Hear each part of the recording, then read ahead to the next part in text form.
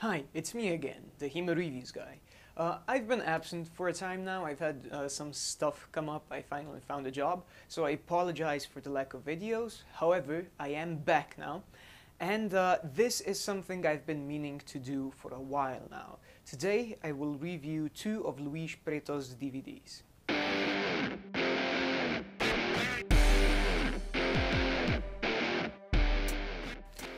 Right, so these are the two DVDs that I'll be reviewing.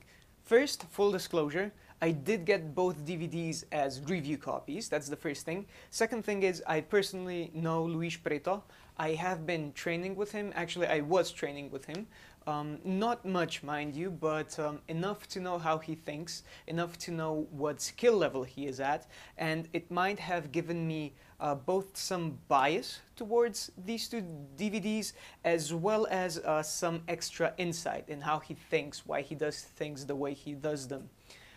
So without further ado, let's get into the two DVDs. I also have a written review if you're more interested in that. I'll put a description down because this will be more or less just a repetition of that.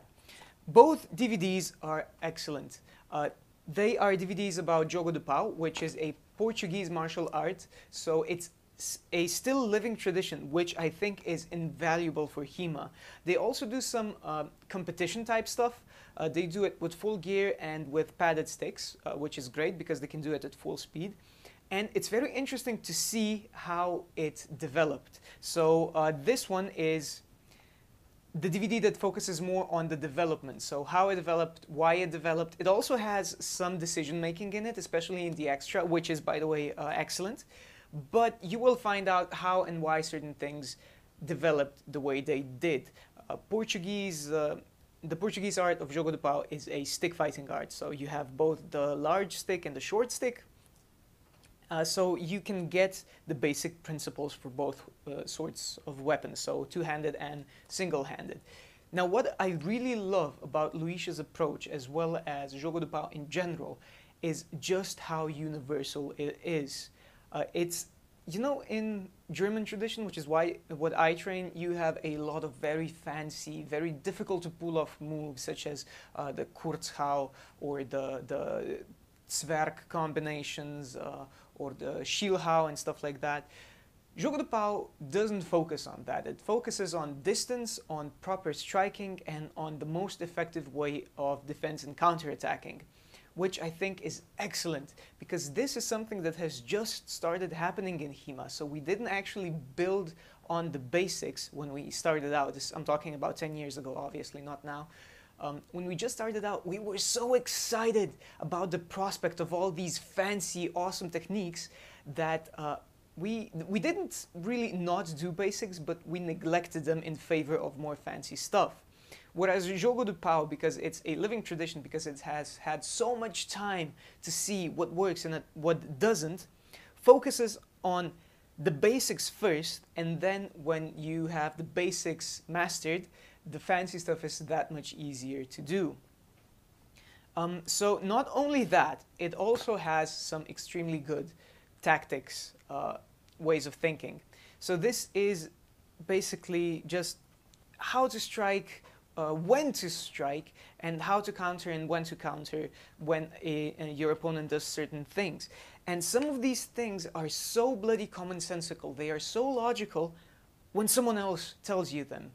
Because I know that I personally, some of these things, I, I was training for about six years, I think, before uh, Luis came and I talked to him and he told me some of these stuff before I even saw the DVDs and it completely blew my mind because it was so bloody obvious.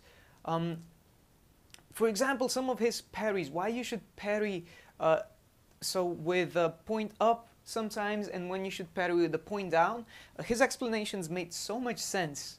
Uh, also, why certain guards have advantages against other guards. I think it isn't actually, it, it does um, talk a little bit about, he does talk a little bit about that in his DVDs as well, I think in both of them. Um, but just the way he thinks kind of makes you do a mind shift. So it changes up your view of how combat works. And something that challenges your view on how combat works is invaluable for martial artists. So this is something, both of these DVDs, something that is extremely similar, yet very different from standard HEMA. I warmly recommend that you get at least one of them. Now, content-wise, they are pretty similar, but they have important distinctions. If you can, I advise you get both of them. If not, and you're a more advanced student, get Combat Tactics. If you're a newer student, get From Battlefields to Dueling. Also get this if you're interested in uh, the development of a living HEMA tradition. So not from since it became Jogo do to now, but more from the medieval ages to now. Uh, both these DVDs, I think, are excellent. Uh, they helped me personally quite a lot, as well as most of what Luis said really uh, struck, struck a deep chord with me and made me reevaluate uh, how I do certain things. Um, so, as I said, I might be biased. Uh, however, listening to other people talk about uh, Luis's teachings, uh, Luis's teachings, that sounds like he's. Never mind. Uh, however, listening to other people talk about how Luis, teaches makes me think that it wasn't just me, so that this is actually of great value to the uh, community of HEMA as a whole. Once again, warmly recommended. Get at least one of these DVDs. I think um, this should be in every swordsman's library alongside uh, Keith uh, Farrell's um, AHA uh, guide. Uh, and yeah, that's basically it. Thank you for listening. I hope you found this helpful. Um, again, I'm sorry I couldn't be unbiased towards this, so I'm not giving it any grades. Uh, I do recommend them though. So until next time, have a good one.